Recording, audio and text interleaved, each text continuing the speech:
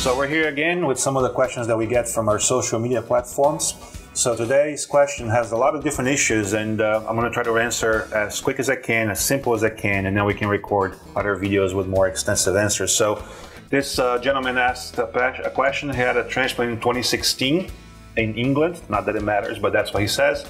He has a concern about his hairline, the direction of the grafts. The uh, there were a lot of multiple hair grafts placed right on the hairline, so it looks pluggy and he's asking what can be done to fix it. So just a few issues here in the question he, asked about SMP, scalp micropigmentation. That's a whole topic for a whole another video that we will record. But anyway, I, looking at the pictures here, what I can see is yes, the hair line, if you can look at the pictures here, first of all, it's very straight. So not very natural. A hairline has to be scattered, and uh, there's also a lot of big hair grafts here, two and three hair grafts right on the edge, so that's not good too. You want to use single hair grafts for the edge of the hairline for that natural transition.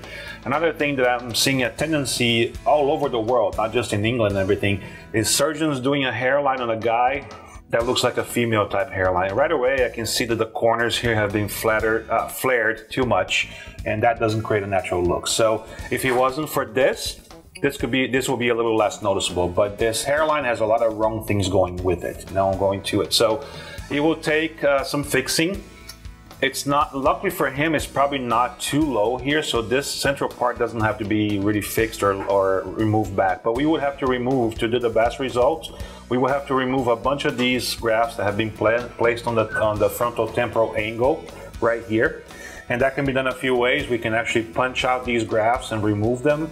Or, uh, depending on the number of grafts, it's actually preferable to actually do laser hair removal before the transplant because every time you go to harvest these follicles, it creates scarring, right? So then you can you can have scar tissue right on the hairline.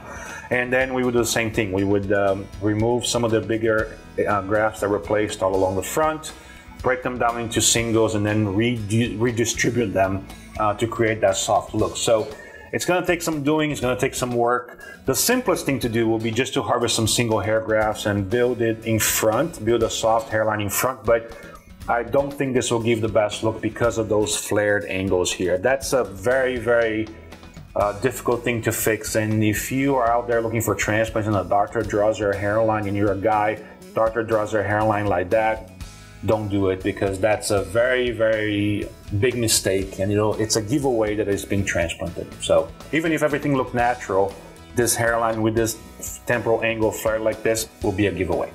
So yeah, it can be fixed. It's going to take some doing and someone with experience to do it.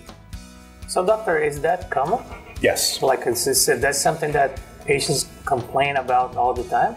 They don't complain about all the time because they don't realize that their hairline doesn't look natural. You know, I'm talking about these angles here. This is a very big no-no one of the first things you learn when you're training to do hair transplant procedure, if you do a, a fellowship or a proof training like that with someone experienced, we're going to talk about not to do this on a man. If this was a lady, yeah, that's all you want to do a hairline on a lady. But this creates a very unnatural look for a patient. And I can tell by the forehead, you know, kind of lack of wrinkles. This is probably a, a young patient. Mm-hmm. Um, and that's not going to look good as he gets as he gets older. It doesn't look good right now to me, at least. Doesn't look good right now. Imagine later. So, but that's a common trend that we see. Very aggressive. We call it frontal temporal angles. These transitions here. On a man, you always want to make them, you know, tuck them back a little bit. Yeah, we can be a little more aggressive, but you never want to do a rounder like this. It just doesn't look good on a guy, you know. Yeah. And doctor, is, you did mention that you could redistribute the grafts. I think that's something that a lot of people are not aware of. Right. So when cutting them down and redistribute them, do they have still the same viability as the other follicles that were implanted? That's a great question. Yeah, they should because well, you know, these are donor zone grafts, right? Hairs that came from the donor zone. So they are, uh, for all intents and purposes, they're donor hairs. I'm just instead of removing them from here, I'm removing them from here. So I use the same punch that I would use back here with the FUE, remove them and then move them out. Or like if it's a two hair graft, I would break them down into two singles.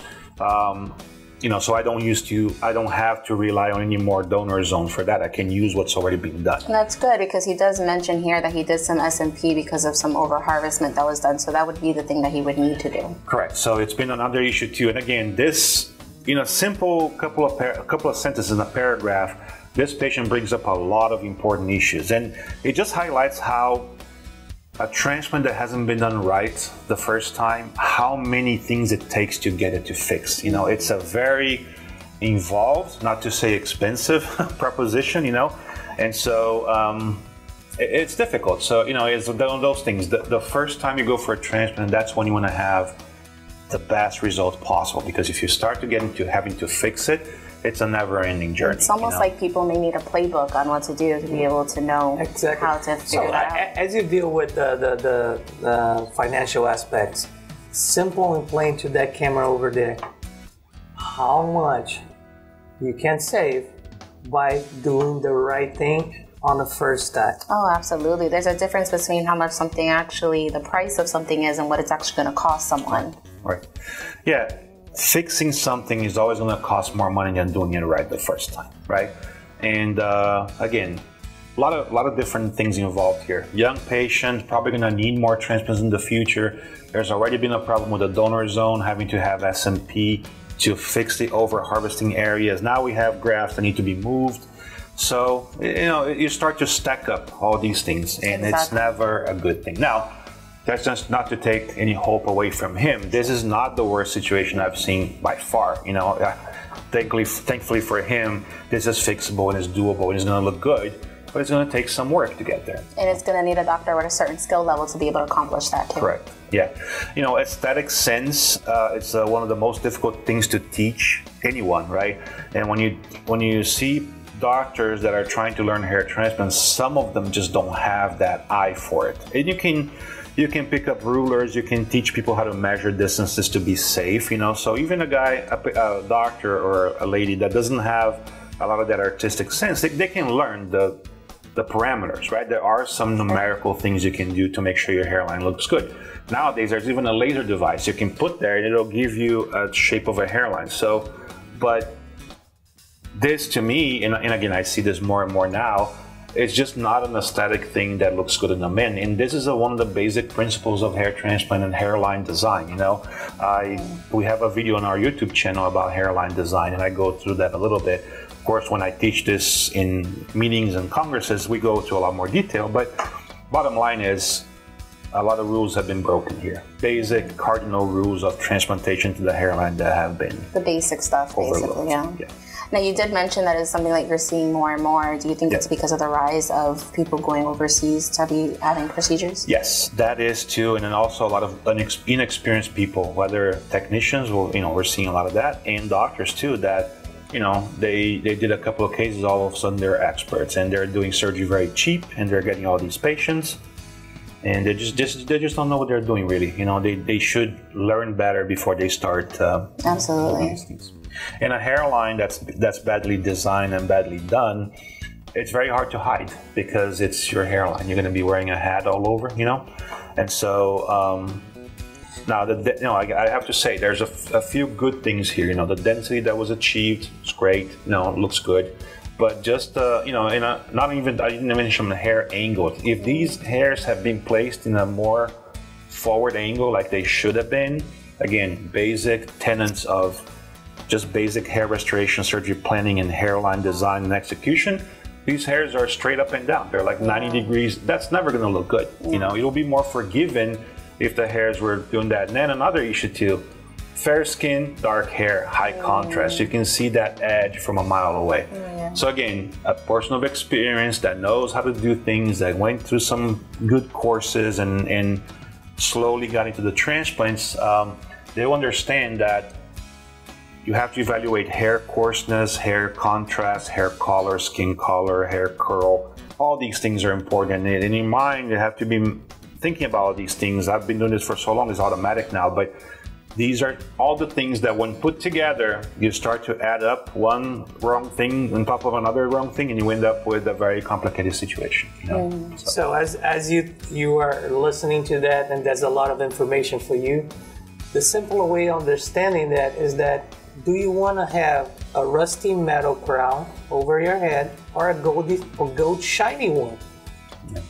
They're all different prices for that, but the result is also different. It's up to you.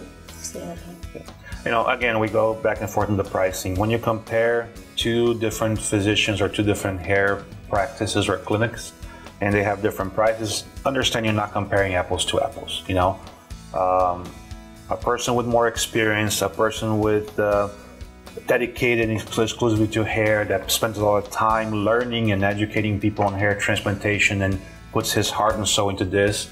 It's gonna it's not gonna cost the same as somebody who just looks at this as like just another form of making money, you know. And so all these intrinsic things play a big role, you know. And so do your research on before you select a provider. Don't let the price be your only guide because a lot of times it'll steer you in the wrong direction.